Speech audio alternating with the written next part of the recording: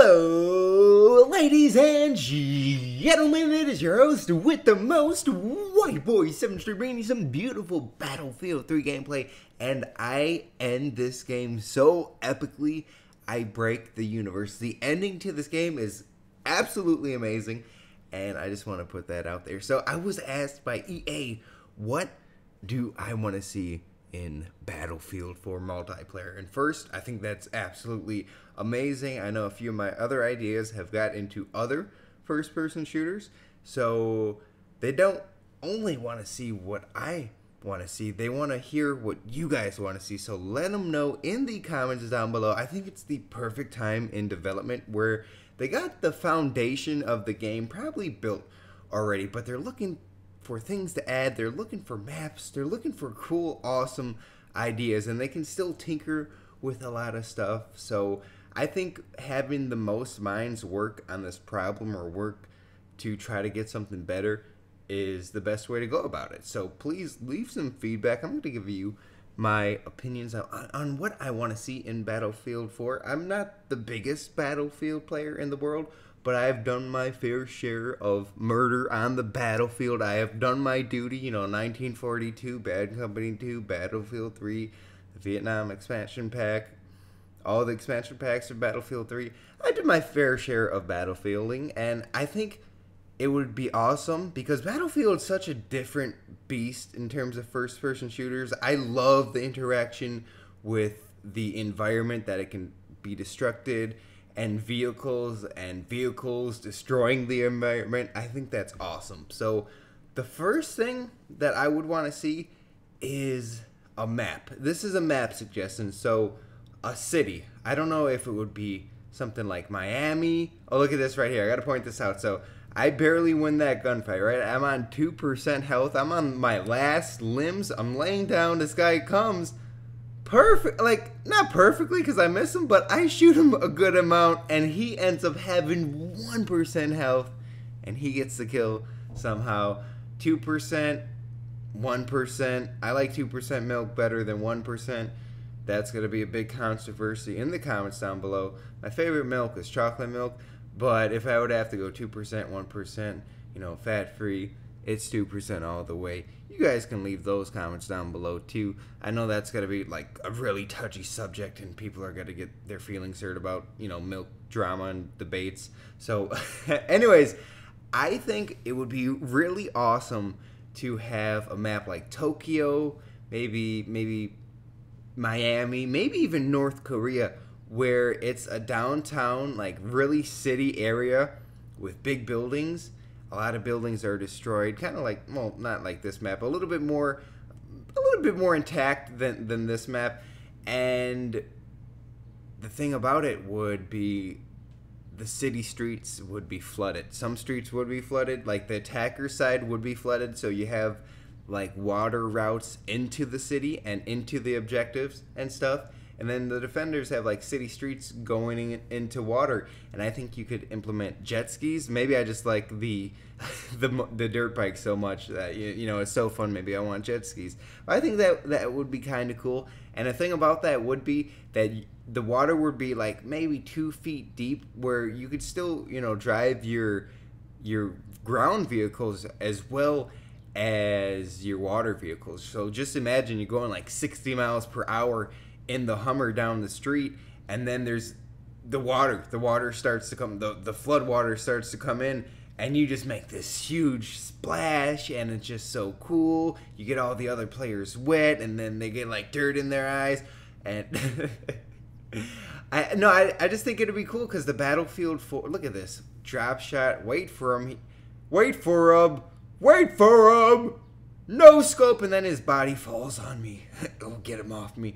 So I think it'd be awesome because the Battlefield 4, that trailer that they released, it was so beautiful. The water, if you if you paid fine detail to the water, it looked amazing. And I think just I think they should implement that and use that to its full ability and have a flood map and just have like North Korea where everything I I believe in North Korea isn't built to the standard that it is in most of.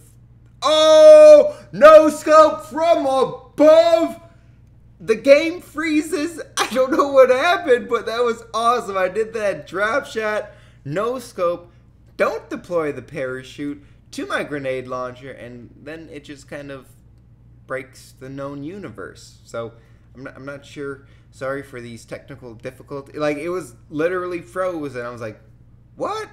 Was that so cool that I just froze the game?" So I got another gameplay here uh, coming up in about two seconds. We got a two for one special because I got a lot of ideas up here in my brain that I want to give, and uh, hopefully you guys can give some ideas as well. So another thing that I would want to see, I think that would be a cool, uh, cool map and something that I haven't seen before in the first person genre, and just to like, I don't know, flooding a city getting flooded, maybe even you know Katrina because it, it was a war zone down there. It was a battlefield in Katrina, and that would just be so crazy to to see that. And I think jet skis are freaking awesome.